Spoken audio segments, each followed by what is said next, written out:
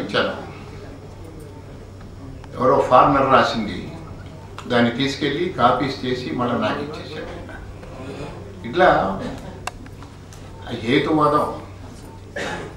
హేతువాదం అంటే మనకి ఇంకొక దాన్ని వాడుకొని అక్కడి నుంచి పైర్లు పంటలు అన్నీ వస్తూ ఉంటాయి. అఫ్కోర్స్ ఆ రోజుల్లో జనాభా తక్కువ కాబట్టి తక్కువ తక్కువ పంట పండినా కూడా సరిపోయింది. తర్వాతనేమో ఎక్కువ మంది జనాభా కూడా మూడు కోట్ల ఆంధ్రుల నారాయణ రెడ్డి గారు రాసిన పాట ఇప్పుడు తొమ్మిది కోట్ల ఆంధ్రులు అయిపోయినది హైదరాబాద్లో. ఇండియాలో కూడా అంతే ఆ రోజుల్లో పదిహేను కోట్లు ఇరవై కోట్లు అనుకుంటే మేము పుట్టినప్పుడు ఇప్పుడు నూట ఇరవై కోట్లు అయినారు. కాబట్టి మనందరికీ తిండి కావాలి కాబట్టి వీళ్ళందరూ కూడా మంచి విత్తనాలు ప్రొడ్యూస్ చేయాలి. కాబట్టి కొంతవరకు గౌరవిద్దామని అనుకుంటూ ఉండేవాడిని. కానీ రైతు పెట్టక నా మనసులో ఏముండేదంటే కొట్టరా పటరా ఒడిశాల కొట్టరా దెబ్బ పరిగి పెట్టల మంద పారిపోవాలి.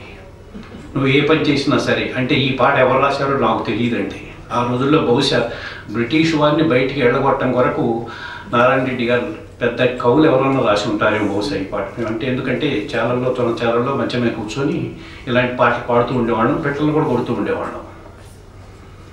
అందుకని నేను అదే విషయాన్ని చెప్పాల్సి వచ్చింది మురారిరావు గారికి ఒకరోజు.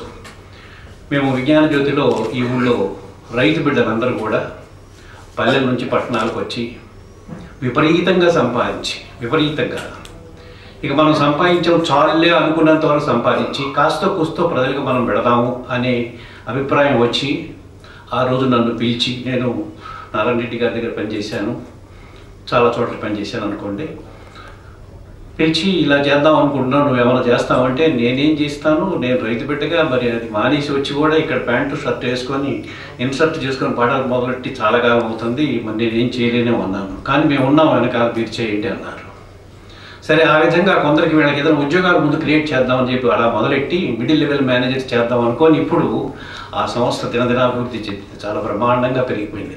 విజ్ఞాన జ్యోతి ఒక ఇంజనీరింగ్ కాలేజీ ఒక మేనేజ్మెంట్ కాలేజీ ఒక రెసిడెన్షియల్ స్కూల్ ఒక డే స్కాలర్ స్కూల్ ఒక పాలిటెక్నిక్ ఒక అగ్రికల్చర్ పాలిటెక్నిక్ ఒక రూరల్ డెవలప్మెంట్ ఇన్స్టిట్యూషన్ ఇంకా ఎటు ఎన్నో చాలా చక్కగా ఆ రోజుకి రోజు. కారణం ఏంటంటే నీతి నిజాయితీగా చేయటం మూలంగానే.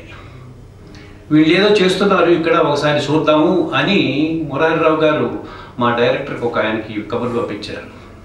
మమ్మల్ని వచ్చి కలవమని చెప్పి. అంటే ఏదో తను గొప్ప మేము తక్కువని కాదు మేము గొప్ప తను తక్కువని కూడా కాదు. వీళ్ళు ఏం చేస్తున్నారో కనుక్కుందాం.